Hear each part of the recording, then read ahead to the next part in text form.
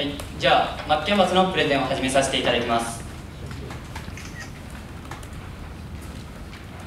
私たちマッキャンバスは本日野沢田中そして私三浦がプレゼンをさせていただきます。私たちマッキャンバス全員旅行好きということで生きということで今このチームでやっております。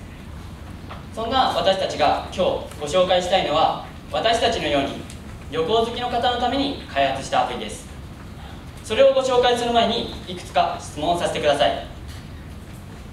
皆さんの中で旅行が好きもしくはこれから旅行に行ってみたいなって思っている方手を挙げていただけますか？あ結構大勢いるんですね。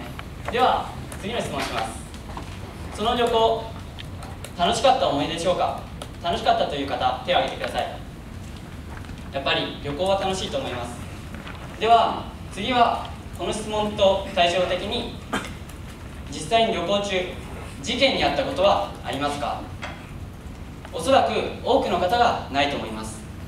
ですが実際に事件に遭っている人はいるんです。この事件覚えているでしょうか？